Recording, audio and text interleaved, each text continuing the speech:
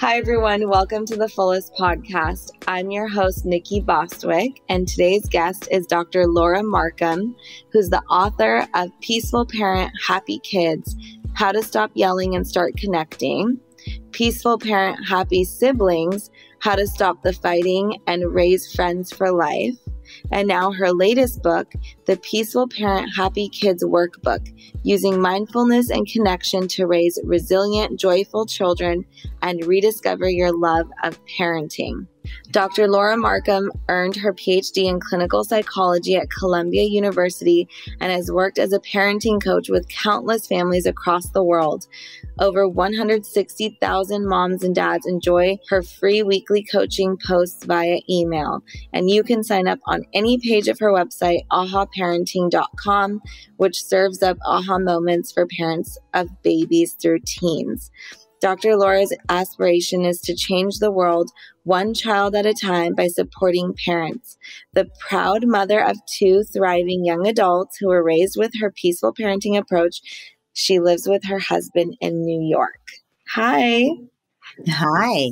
Thank you for joining us. We're so excited to have you on the show and to just learn more about you and your wonderful peaceful parenting methods. Okay. I'm glad to be here. So, yeah, I just have, you know, different questions that I thought that we could kind of start with since we know your background and yeah, I think that for me as a parent, I I always knew that I was going to parent differently than my own parents, but then once you have your own kids and I, do things so differently than them, you just start to realize why people ended up doing the things that they did and falling into those patterns and how you know as a parent you just I love that you share that you just really it goes back to your own self-care and mindfulness and connection with yourself so that you can be really present with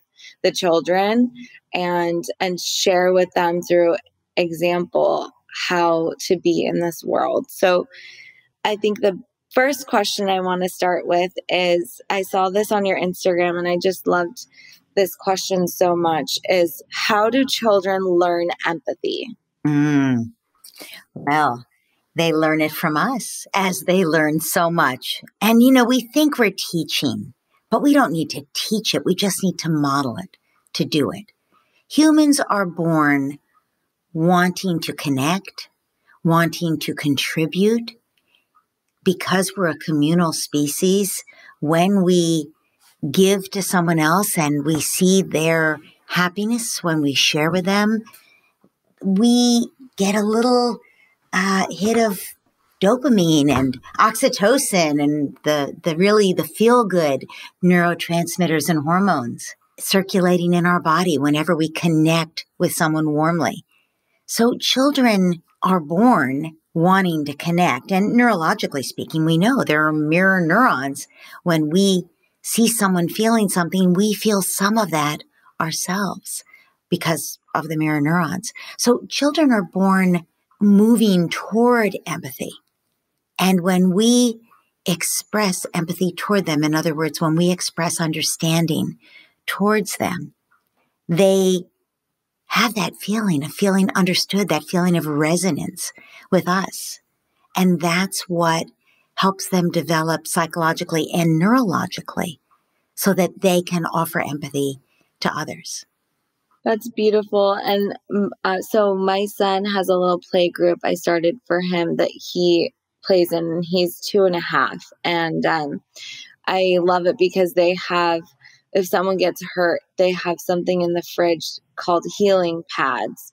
And they're essentially just like um, fabric covered, like buckwheat holes that are covered in fabric. And they just place it on, you know, where the owie is or wherever. And all the kids love doing that. And it's so sweet. And so I, I find exactly that example to be so true but at the same time i i my i feel like and every parent must go through this, but it's like they're so innocent. And then once they start going to school or learning from other kids, they come home with like challenging behavior. And with him, I just felt like he went from this like loving, sweet little boy to coming home and all of a sudden like spitting or um, like hitting and you know doing doing things where i found myself so disappointed because i was like what what is happening to my perfect little angel? And so i i think my initial reaction was oh my gosh like my son isn't empathetic. How does he not understand that that he's hurting me or my husband by doing this? And so i'm curious in the moment when we talk about how to teach them empathy and knowing that they obviously have the capacity to be empathetic but then you know just like how we have emotions and we don't we are just better at managing them hopefully. Um, i wonder like in those moments what are things that we can share with them? Because i've heard like we try and say oh, I'm not going to let you hit me, so I have to hold your hands or stuff like that. Because I think in the beginning, I was just like, that hurts me. And I've heard that that's not necessarily the best response. So I'm curious what you would recommend. Well, first of all, it doesn't mean a child is not empathic because they hit or spit or scream at you or anything else. Because think about it for us you're empathic, I'm empathic, but if we were under threat, the last thing we would feel is empathy. If we felt a threat, you know, there's a robber with a gun. We're not going to feel empathy for that robber. We're going to feel scared and we're going to feel angry and and we're going to if we think we can, you know, we we're going to go into fight, flight or freeze because that's what we do when we're under threat, right? We we either fight off the threat if we can, or we run from it if we can, right? And if we don't think we can do either, we, we freeze and hope they won't see us. So your son, when he is in a situation where he feels some sort of threat, and the threat could be you said, no, you can't have a cookie. The threat could be you said, time to sit down to eat. The threat could be you said, it's time to leave the playground or go to bed or get out of the bathtub or whatever else that threat feels like to him like a big problem. So he, the last thing he feels is empathy. He's going to go into fight, flight, or freeze because it's an emergency to him.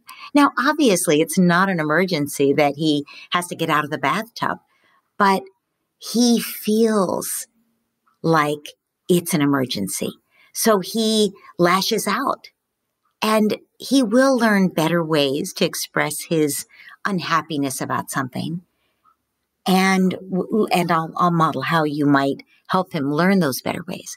But it really it doesn't have anything any um, bearing on whether he's empathic or not at all right at that moment he's in a state of emergency so he's lashing out uh, i also think that at his age he cannot keep in mind his perspective and your perspective at the same time. In fact, he doesn't really know that you have a different perspective. He'll, he'll make a leap when he's probably three and a half where he'll be able to realize that, you know, he put his toy under the couch and you didn't see him do it and you don't know it's under there. But right now, if he did that, he would think you know it's there because everybody has the same perspective he thinks, because he's only two and a half. By three and a half, they their brain has developed more conceptual understanding. They know, oh, you don't know the toy is under there. You have a different perspective, right? And that's actually when they develop the capacity to begin lying, really by four, uh, because of this newfound capacity. So at that point, he's now able to oh, she has a different perspective than I do. Maybe it hurts her when I hit her, you know? Whereas right now, he actually doesn't get that there are different perspectives. Right. So he's, he doesn't have much prefrontal cortex. He, his brain is born pretty unfinished. And even though he's two and a half, his brain is still developing great guns right now. It's just growing unbelievably, beautifully developing every day based on his experience. So how can we help the brain grow in uh, wisdom so that it notices what's happening and has more understanding of somebody else and knows that hitting is not the way to do it. We start by creating safety. by helping him move out of that state of emergency that he's shifted into because you told him he had to do something or couldn't do something. So when he, when, so first of all, before you set a limit, and that's what it is. A limit is no, you can't have a cookie, or yes, you have to get out of the bathtub. So when you set a limit, you always start by connecting. That creates safety it also helps the other person feel understood. So they're more likely to cooperate with you. Not always, he's only two and a half, but more likely to. You know, kids don't need everything they want, but they do need to feel understood. So when you say you are loving being in the bathtub, you've been in the bathtub for half an hour now and you just love playing with your boats. And it's time to get out now. Now, notice you didn't start by saying, okay, time to get out of the tub. You started by saying, you love it. I see you love it. It's so much fun to splash around with your boats. And it's time to get out. And he says, as every kid does, they may not want to get into the tub, but then they never want to get out, right? So he then says, No, no, I'm not ready. Or since he's two and a half, he may not say, I'm not ready. He might just yell, No, and splash at you. And you can say, Okay, do you want to get out of the tub now or in five minutes?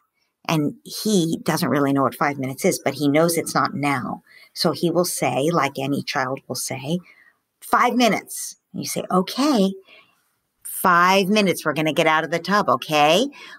And when you when it's five minutes, we're going to need to get out. And I know you still won't want to get out of the tub, but you know what we're going to go do. And then you tell him all the great things you're going to go do. So he starts to think maybe it's not so terrible, but he doesn't still want to get out when the five minutes is up. And you say, okay, you've had such a great time, and now it's time to go find you know um, find your pajamas and find the book you want to read and snuggle up and and he says no. And you say uh, and this could be a situation of fight flight or freeze right?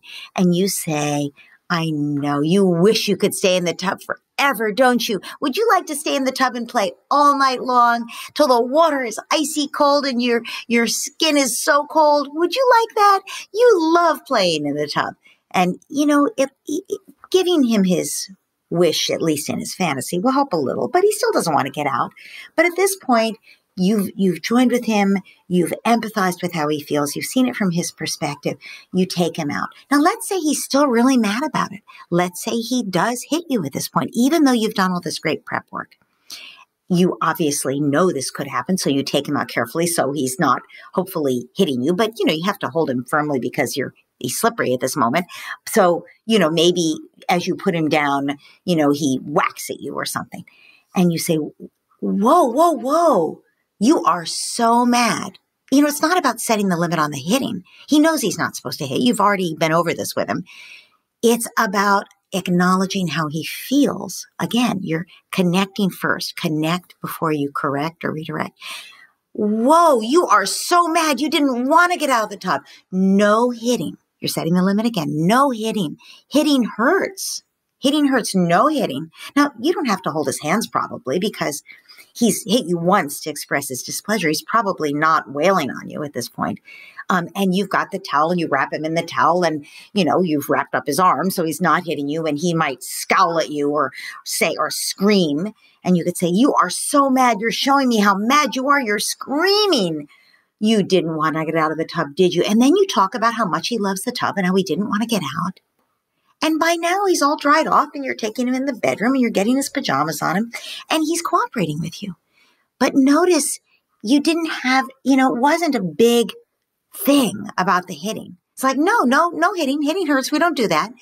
But that's not where your focus was. Your focus was on helping him with his emotions because the emotions, all behavior is driven by emotions and needs. You address the emotion and what he thought was the solution to his need.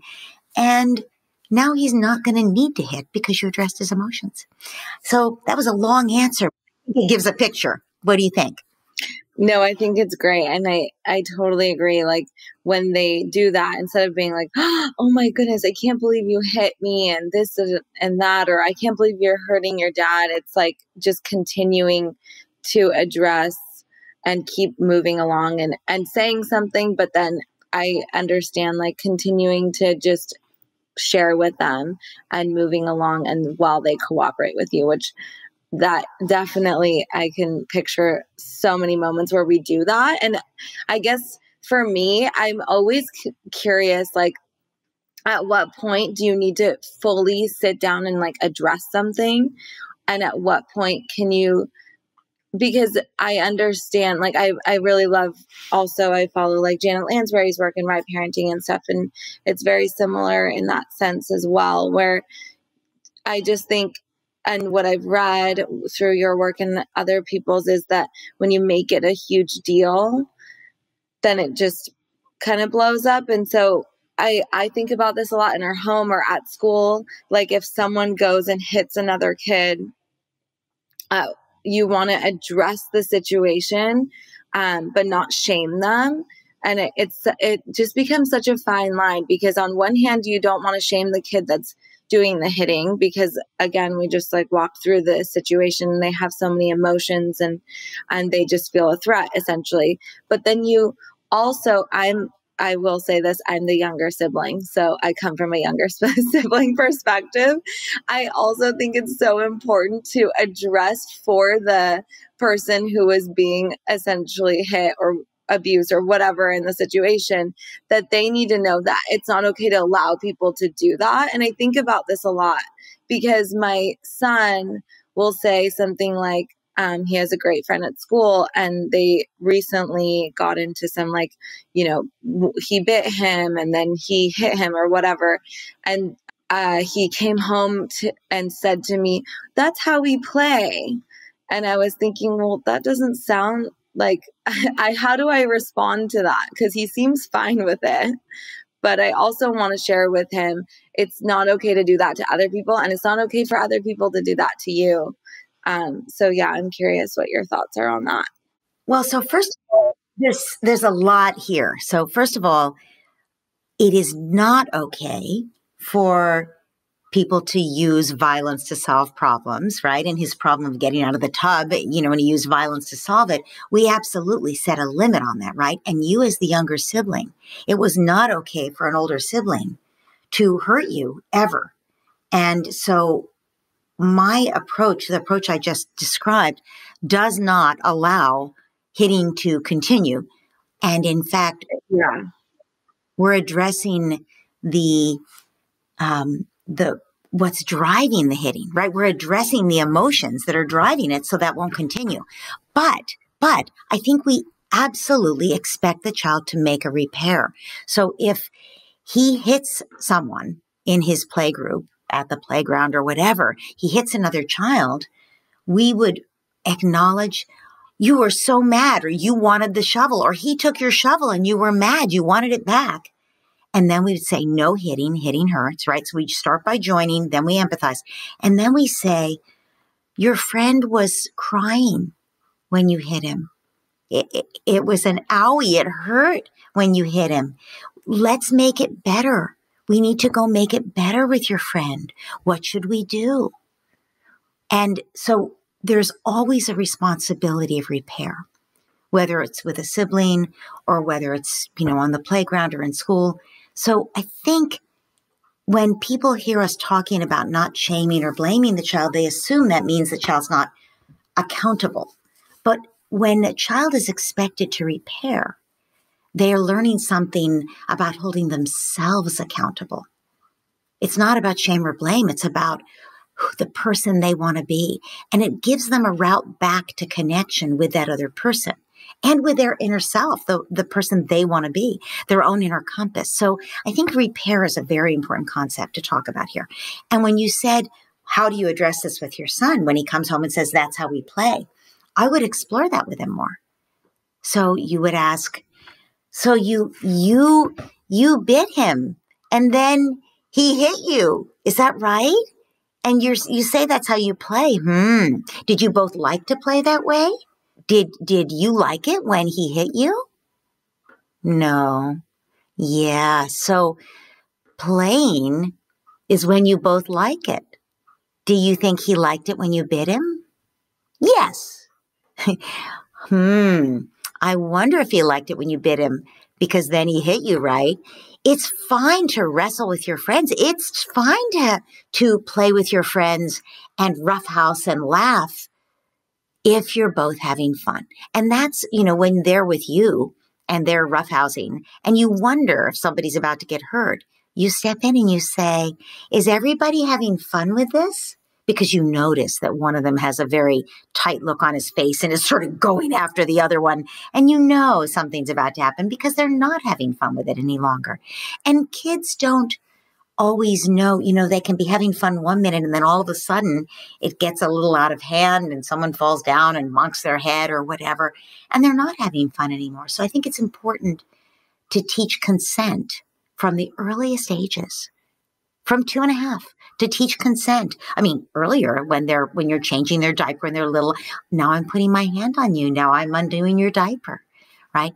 And when they're with friends and they're playing, you know, are you both having fun? Do you both want to wrestle? You know, I, I'm hearing your friends say he doesn't want you to push him. Or, and then you can also coach your child. You can say, don't push me, please. So you, you give them the words they need to stick up for themselves. Hey everyone, I want to tell you about a brand of shoes that my husband wears religiously called Sabahs. They're the only shoes he wears and back in 2016, when we got married, we were actually the first wedding to have all of our groomsmen wear sabahs. Sabah, spelled S A B A H, means morning in Turkish, and every pair is handcrafted at the Sabah workshop in Gaziantep, Turkey, and initialed by the maker. Sabah shoes use all natural ingredients in the tanning process, no cheap synthetics, and no paint, which is what I love about it. I love knowing that my husband and I have Sabahs too. I love knowing that we're using shoes that are good for us because if you think about it, think about reflexology, think about all the different things that we can absorb through our feet. We talk about earthing. You take in so much from your feet. So you want to make sure that what you're putting on them is not toxic.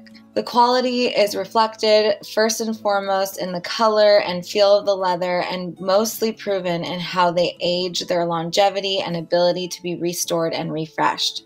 One pair of Sabah shoes should last you many years with the right care and attention. And although my husband has like 20 plus pairs and is just absolutely obsessed with it.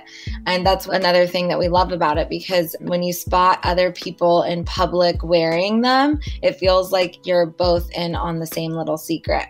And that's actually how the brand was founded. Mickey Ashmore, aka the Sabah dealer, the founder, started Sabah in 2013 out of his East Village apartment, hosting friends and friends of friends for Turkish coffees and shoe fittings. Since then, Sabah has expanded, but the hospitality and personal touch remains the same. So if you're interested in giving them a try, I recommend visiting one of their five Sabah House locations in New York, Amagansett, San Francisco, Dallas, or London, or shop online at www.sabah.am. Be sure to enter code the fullest in all caps at checkout for complimentary shipping on your order of $75 or more. Sabah offers free returns and exchanges and are readily available to assist with any sizing questions. So check them out. We love them. They have slip ons as well. They have glasses. They have all sorts of other fun things like backgammon and cool bags.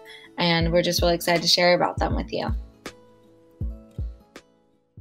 That's such wonderful advice. I love all that. I love repairing and I love um, just everything you shared. Thank you so much. So, I have a question. I am curious. I've heard um, throughout the years, you know, that kids, that, you know, these are obviously the formative years and up until they're five or up until they're seven, they're um, forming their personalities. And and I'm just curious what your thoughts are on on that if there is any specific number in that.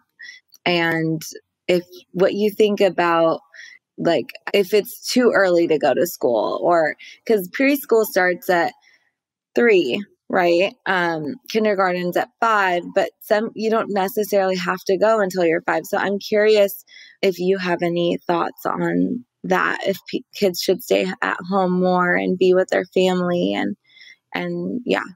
Well the brain is still forming until you're 25 and in fact even after that. So it's true that in the first year of life the growth is exponential and then the next year it's still significant and then the next year it's still very significant. So any repeated experience will change the brain right? Uh, and that's true now and it's true as they get older.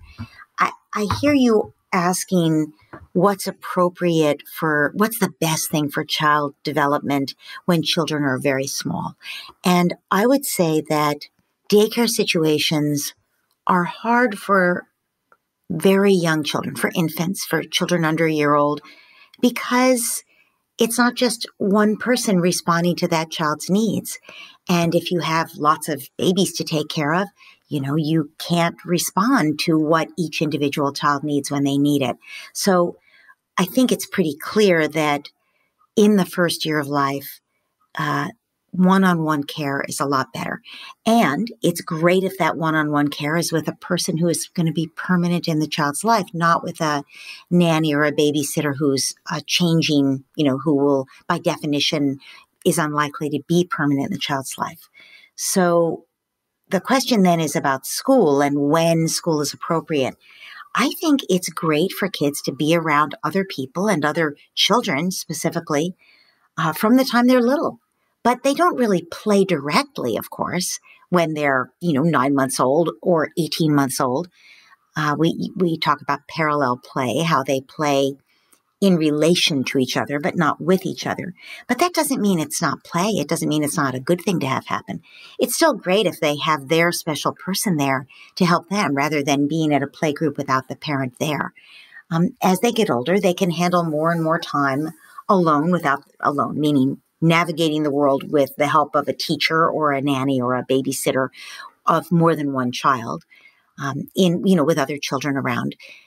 The research on daycare is that high quality daycare can be really great for say a 3-year-old if it if the hours are limited. The problem is that we send kids to daycare for way too many hours.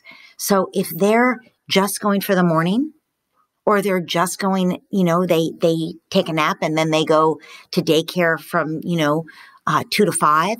Um, it actually works out great. Three hours a day for daycare is fantastic for a three year old to be, you know, sort of learning the world, not with mom and dad there.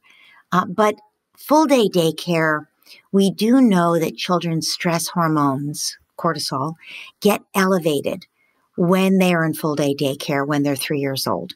Uh, we know that the children who are who go to daycare in the morning and go home and have lunch and a nap and are with their family in the afternoon, their cortisol levels do not get elevated, artificially elevated. So we know there's something stressful that happens when the child doesn't get downtime then in the afternoon after having a morning at school. So I'm a big fan of children having being picked up. And, you know, that doesn't mean that dad or mom has to be with the child, although if dad or mom can do that at least some of the afternoons, how wonderful, because then that's extra time for bonding for them. But it could mean a babysitter picks them up. That does not elevate the cortisol. What elevates the cortisol is when they're in a group situation where no one's responding just to their needs because it, it is a little stressful to be in a group situation with other kids.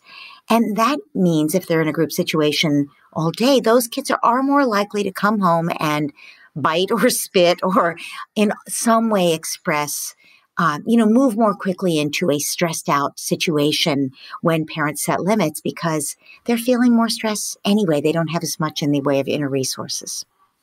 Yeah, that makes a lot of sense. I love that there's research around that as well.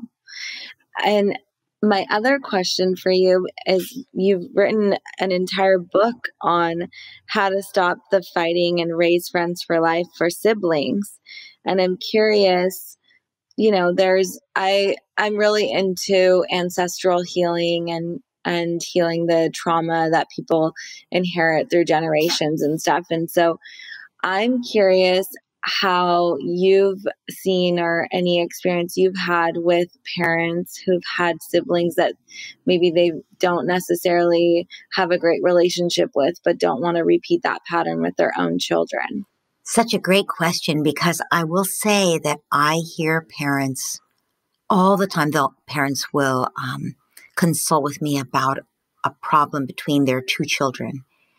And then it will come out in the discussion that, you know, yeah, my big brother beat me up a lot, or, um, you know, I was the oldest and my parents always favored the little one, and I always felt pushed aside and not loved.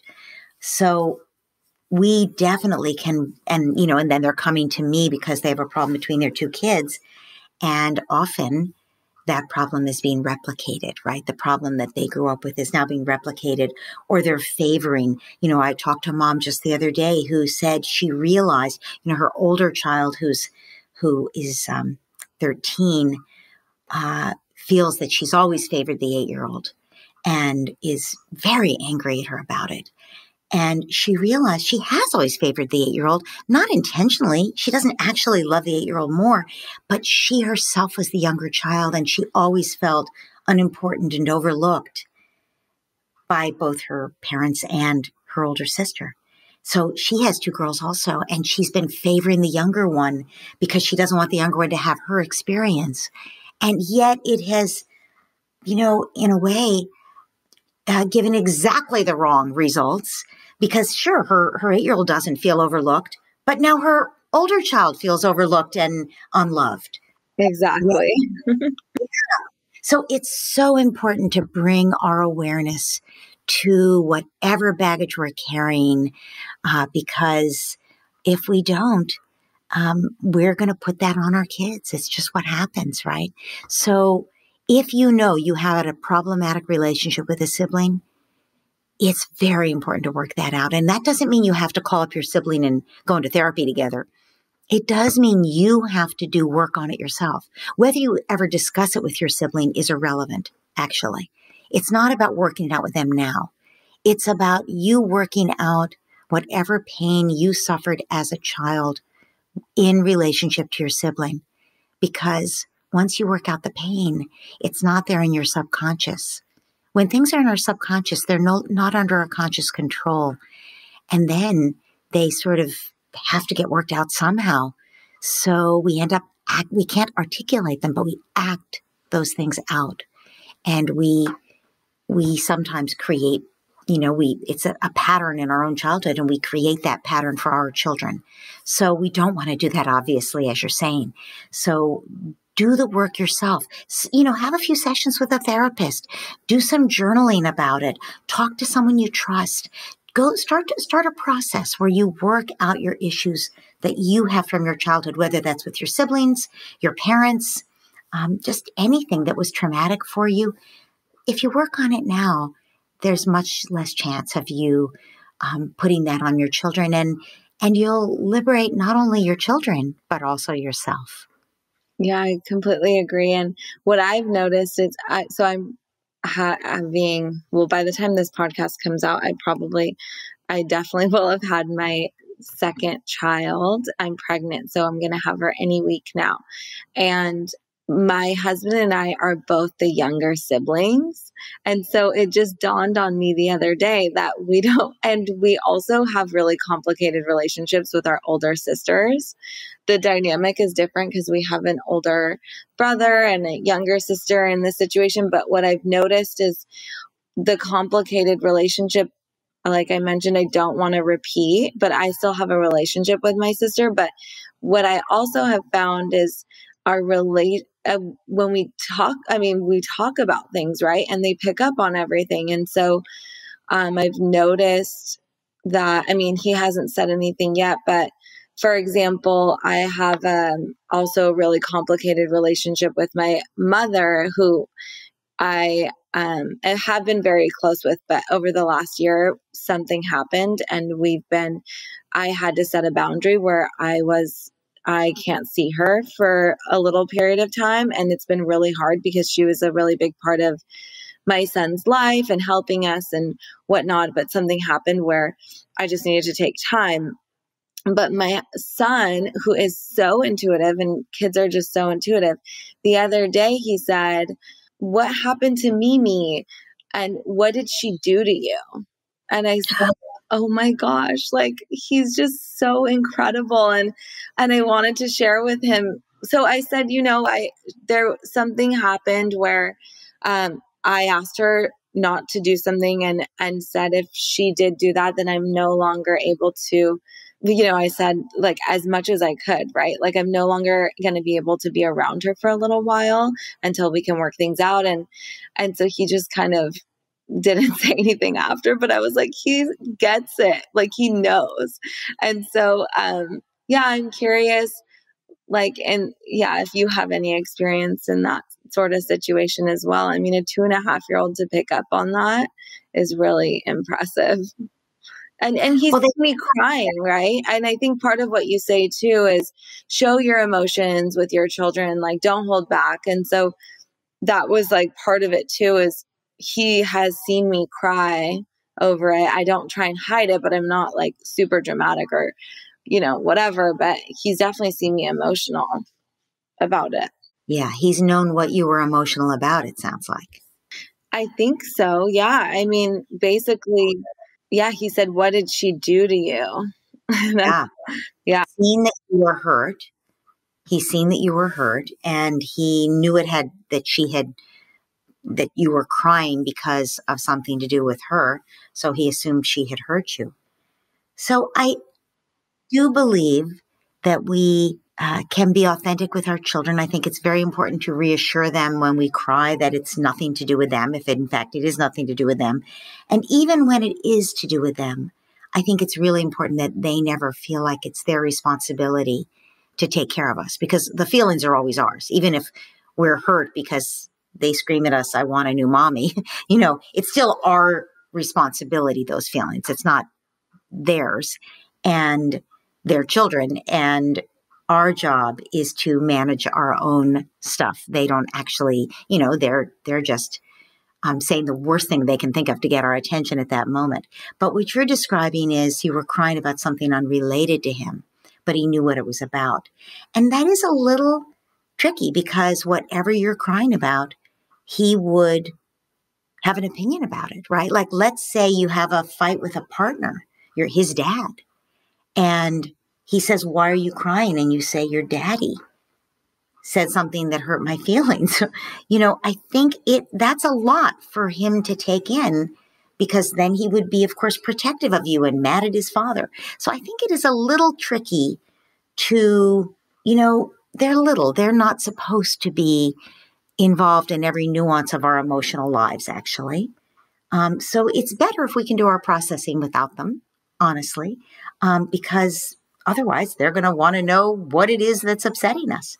But in this case, he knew that it was his grandmother and he has his own relationship with her and he would feel protective of you, but he also misses her, right? And so I think when you describe something that's a conflict, and you know, conflict is part of every human relationship, right? Every, any two people will have different needs and wants and there will sometimes be disagreements. That doesn't mean we can't become closer. It doesn't mean we can't work things out. Um, you and your mother had a disagreement about something. You said, please don't do this or I won't be able to see you. And she did it, apparently. I'm, I'm guessing from what you said. Yeah. Um, and, and you said, okay, I'm going to need to take a little time here. Um, and so when you say that to your son, if you describe that to him, what would his takeaway be? I wonder. I wonder if he would think, well, mommy told me not to do that. Exactly. Mommy told me. That's that's the exactly when I was explaining to him. I was like, well, I don't want him to think I asked him not to do something and then he did it and then so I'm not going to want to see him or something, right? So that's really um, I'm glad you brought that up. So I think it's really important that you know he, they're not old enough to understand the nuances so if they think, you know, you're, you might not speak to him for a while, which would definitely be a, an emergency for him. I mean, children know that if we weren't responsive to their needs, they would not be fed, they would not be protected, they would, in fact, die. So it's an emergency if a parent isn't responsive to you. So they, it's a little tricky to say, well, you know, she did something I told her not to, and so I'm not talking, to speaking to her. So I think when he said, What did she do to you? I think it's important to share that grown-ups sometimes have things that are hard, that they're working out, and that and not share the specifics of it. You know what I mean? So just say, yeah, your your Mimi and I are are working something out. It's hard right now, but we'll work but this is really important. We will work it out. We will work it out and things will be okay again, but I needed a little bit of time to work it out. And if he says, Did she hurt you? You could say, Hmm, well, my feelings were hurt, but you know, we had a different, uh, we, we had a different, um, um, see, I don't know if he even understands what an opinion is. Um, we, we, we, we, we had a difference about something that we're still working out. But why can't we see? He'll, he'll ask, right? Why can't we see Mimi? And you can say, I'm not really ready to see Mimi, but it sounds like maybe you miss her. Do you miss her? And then you can empathize with him. And because that's really what this is about. It's his feelings about his grandmother that matter here, right? Yeah, exactly. That's so beautiful. I love that approach. And exactly, I think, you know, it really is going back to what you said. It's at this age, like it's their perspective. And so that really puts things in perspective for me too, just knowing that they don't know that you have a different perspective than them. Yes. Thank you so much for that. That's really helpful for me. And and so I'm curious about your latest book then, which is a workbook. So please share a little bit about it with us. Hmm. So I wrote Peaceful Parent Happy Kids. Uh, and, you know, it has three basic ideas that are the premise of all of my work, the foundation. The first is that we have a relationship with our children. It's not as parenting is not a set of strategies. Everything depends on the connection. And our influence with our child depends completely on our connection with them. So the relationship is is central. It's, this is a relationship based model of parenting. Uh, the second is that emotion drives behavior. So if we want to change our child's behavior, or help them to be their best selves, we need to coach them so that they can better handle their emotions. And then we see the behavior we want uh, and they're able to be their best selves. And then the third idea is that we can't do that kind of parenting unless we take care of ourselves, try to return ourselves to center when we get upset, and regulate our own emotions. You know, if we're angry at our child, we can't coach them emotionally. We can't create safety for them. We can't connect with them. So those three ideas, connection, coaching, as opposed to threats and punishment and, and even rewards, really just coaching. Um, and then third, our own self-care and self-regulation. Those are the three ideas that are the foundation of my approach. I call the approach peaceful parenting because it results in more peace inside us and a more peaceful home. So that was the first book. And then the second book I wrote, and it's perfect for you right now, about to have a baby, is Peaceful Parent Happy Siblings. And that, the whole last third of the book is about how to introduce the new baby into the home. It's got all the research and all the tips about how to help your older child adapt because it's a hard thing for them when a baby comes into the home.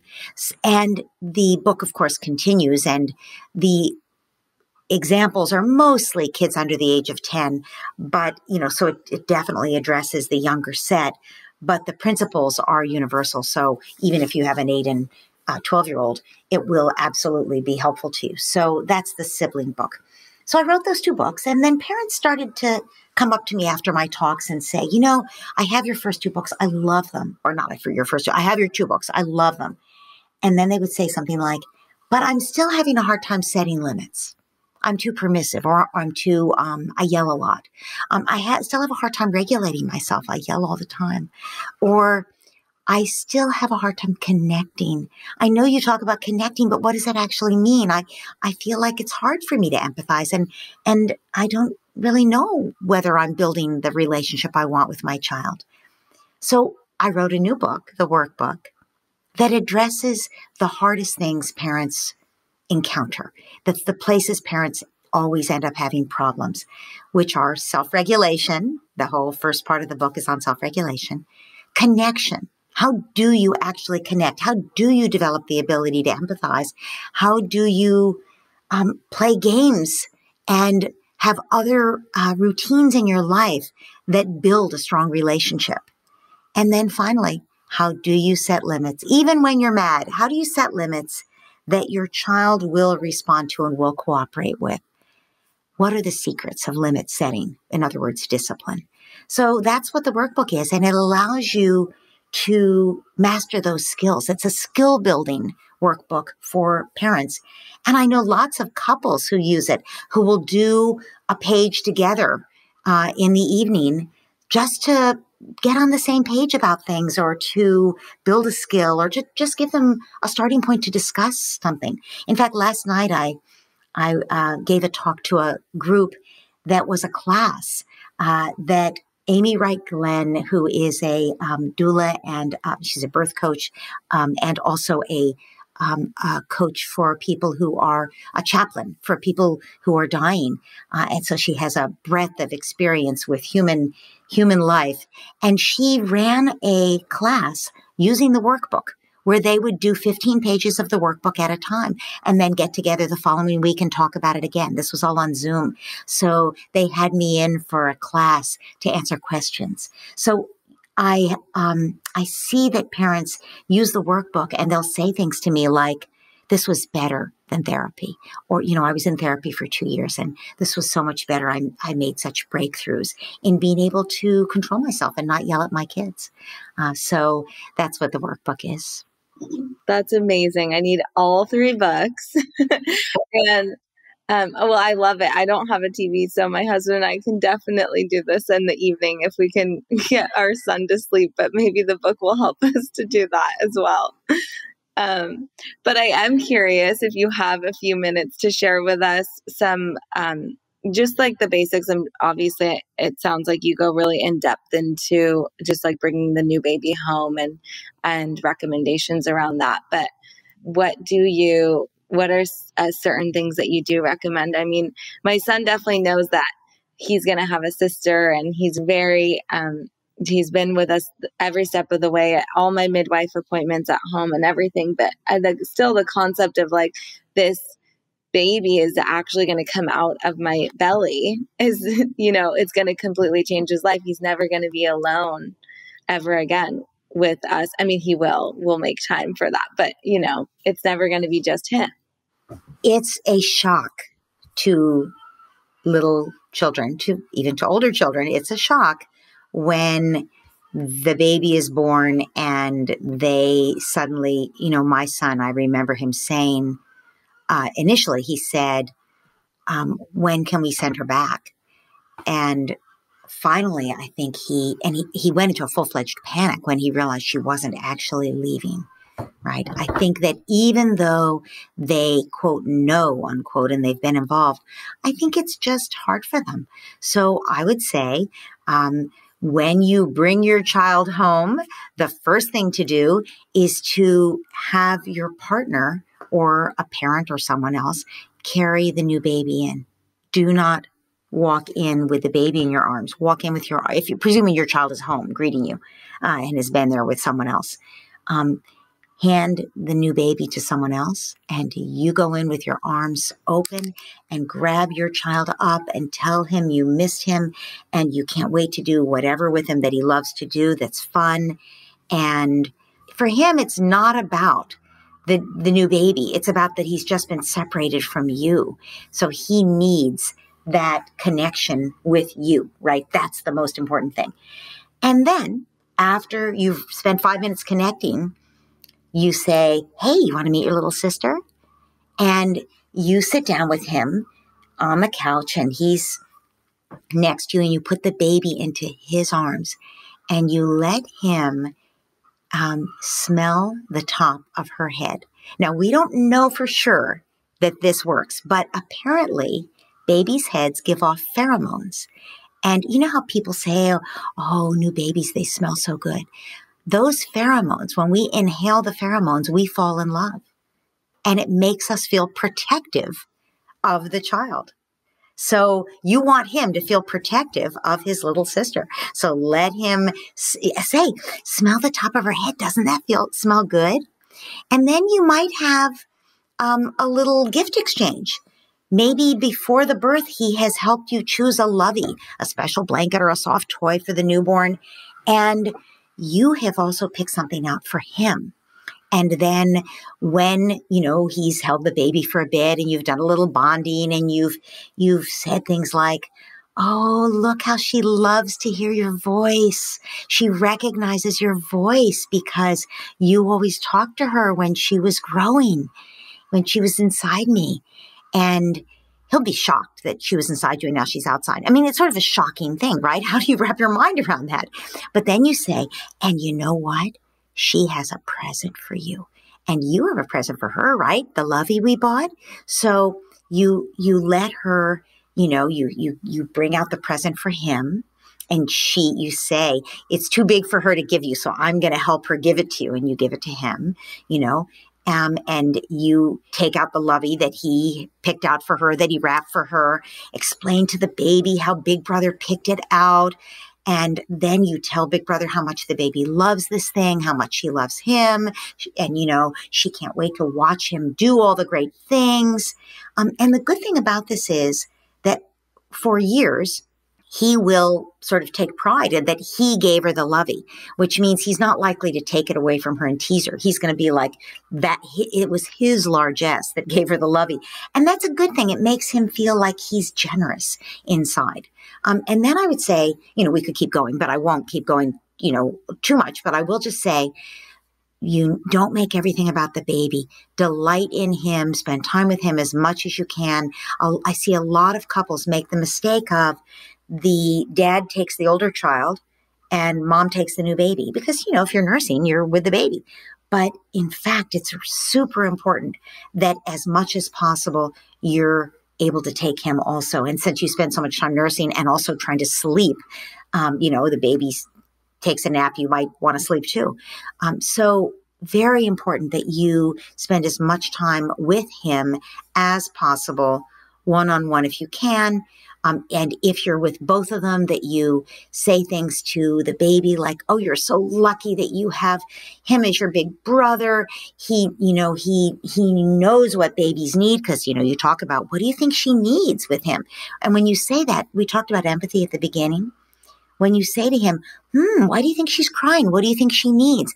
That actually has been proven to develop empathy in the older child and also, you know, develops his ability to realize that she does have a perspective and a set of needs. And also, it develops a better relationship between the children. A year later, they have a better relationship when you do things like ask him, you know, what do you think she needs? What do you think she, you know, we should do? She's crying. Oh, let's go get your baby. She's crying. You want to come with me to get your baby? Oh, look, she's crying. What do you think she needs? And what happens is he starts to feel responsible for her and like he knows how to meet her needs and he cares about her. He's invested in her in the same way that you've become invested in her. So we could keep going for a long time, but those are just some of the tips in the book that you'll find.